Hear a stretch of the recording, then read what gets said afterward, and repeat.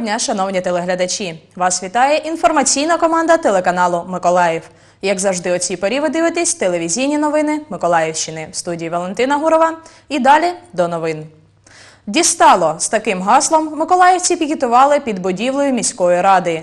Непід'ємні комунальні тарифи, однобокий зв'язок із владою і бездіяльність виконавчих органів. Далеко не всі проблеми, що спонукали протестувальників зібратись на мітинг.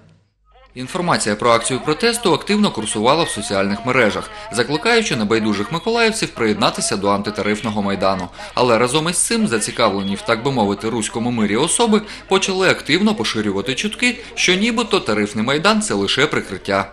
Потім комунальних тарифов поддержать пришел народ. И также пришел с побратимами, потому что в социальных мережах э, прозвучала такая информация, что это хотят э, так званые сепаратисты, хотят все это использовать э, как бы в своих целях, опять чтобы кричать, что Путин, спаси нас, помоги, что вот мы пришли с флагами там нашим украинским, потом украинским повстанческим флагом, красно-черным, что спасайте, ну, тут бандеры.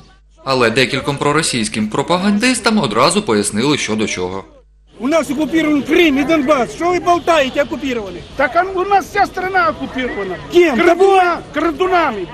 Вимоги протестувальників нічим не відрізнялись від попередньої акції протесту: комунікація з владою, зниження тарифів та усунення некомпетентних чиновників з посад. Такі умови висунули активісти в своєму зверненні.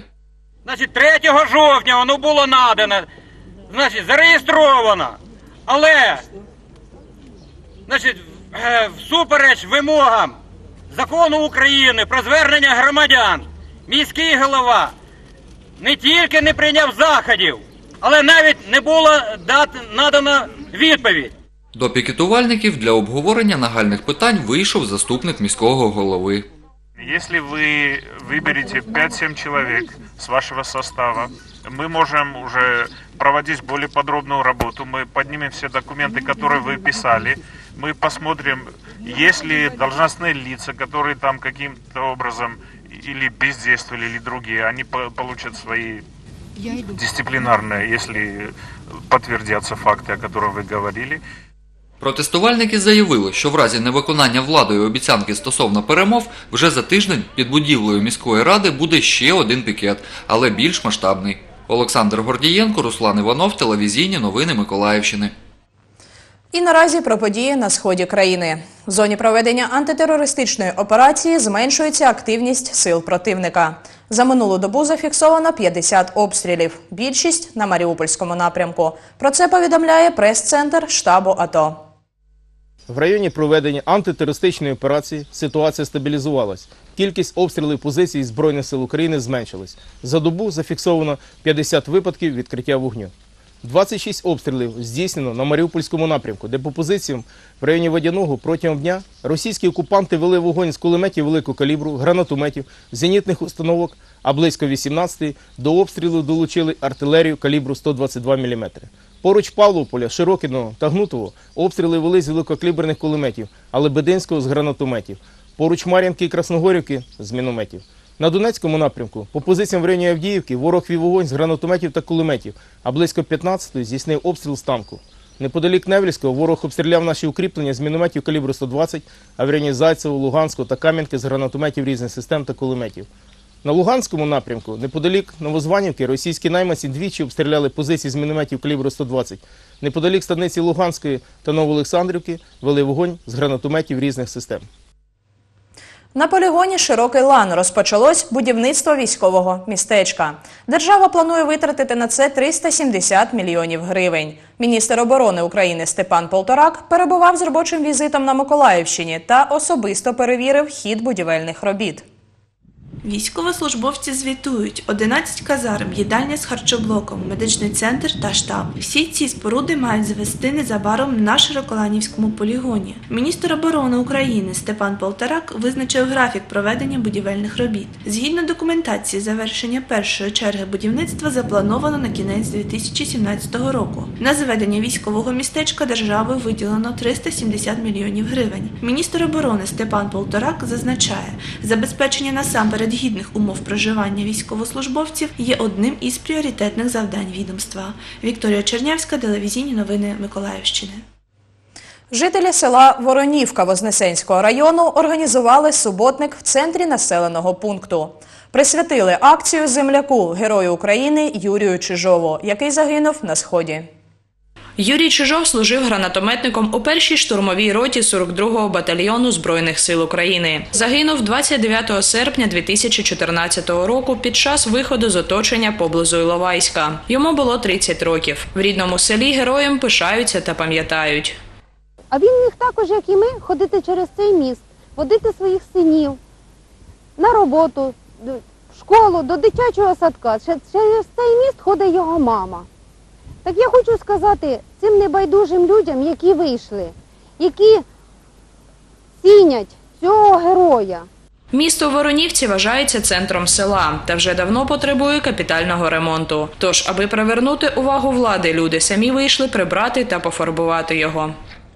Ми хочемо сьогодні покрасити, вигребти, зібрати мусор і засипати, мабуть, міст. Оце в нас сьогодні такі плани. Також залучилась до цієї акції і активно беру в неї участь зі своїми вихованцями, учнями 4 класу. Ми плануємо якомога найбільше на більшу територію зачистити, адже не хочеться, щоб центр села був таким забрудненим. Тож ми активно залучаємось до цієї акції.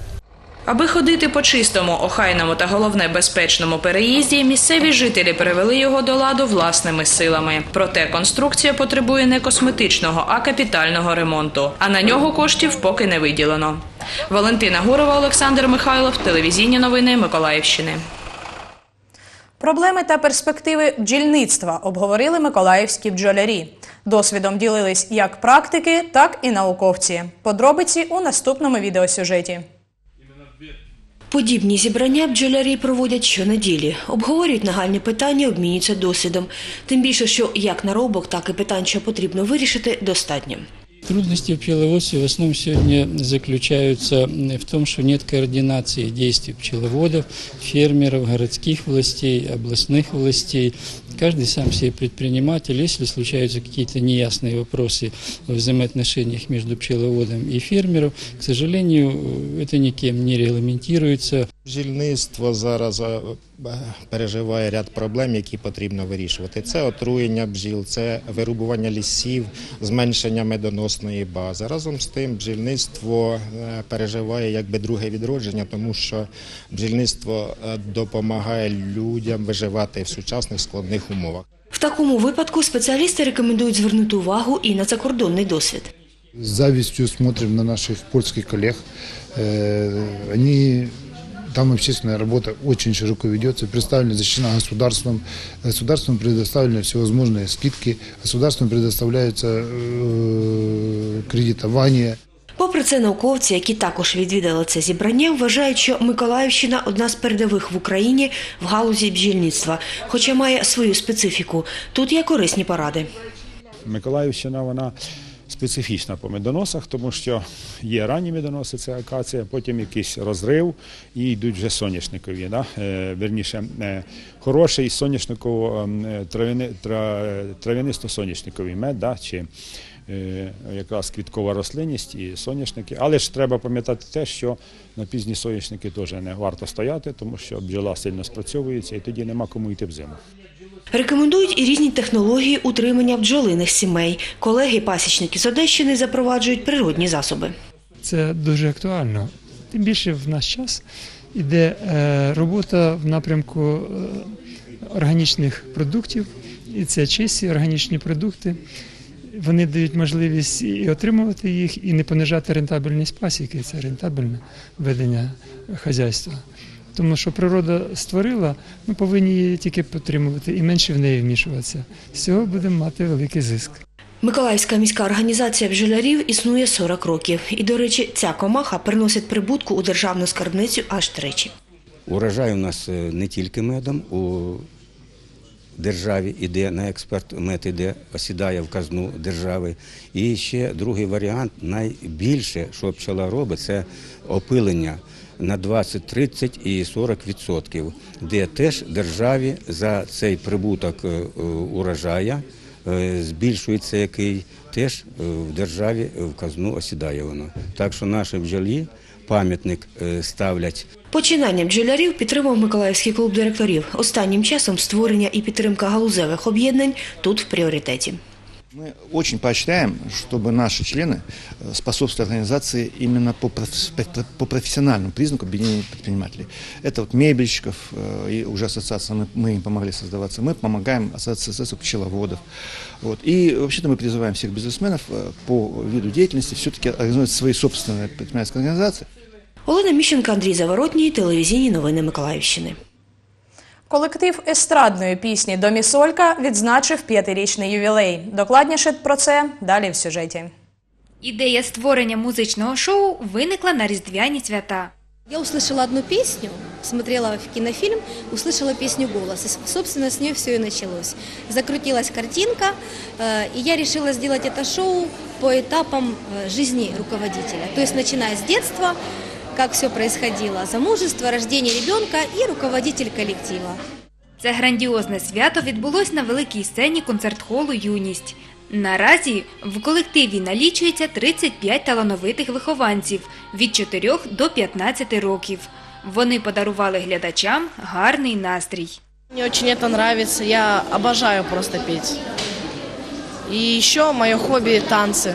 Тепер Іван, як і решта вихованців, має змогу опанувати основи хореографії. Было очень сложно и тяжело, и я уже очень давно прошу хореографа. И в этом году мне наконец-то дали толкового, молодого, классного, современного хореографа. У нас коллектив очень дружный, мы всегда э, друг другу друг другу помогаем, если ну, если что-то не получается. Я хочу пожелать нашему коллективу, что он, чтобы он постоянно шел к своей мечте и никогда э, не оставался на месте, чтобы всегда переходили новые, все лучше, лучше дети. На свято завітало багато поціновувачів дитячої творчості, в тому числі і прабабуся маленької співачки. О, она и рассказывает, и поет, и, и- и вообще на все лады, и танцует, и вдруг что-то изображает еще. Поэтому творчески растет человек. Дай Бог, чтобы все было хорошо. Мы стараемся, работаем над собой и, конечно же, ждем, что попадем в эфир и «Голос дети». Это самая заветная мечта детей.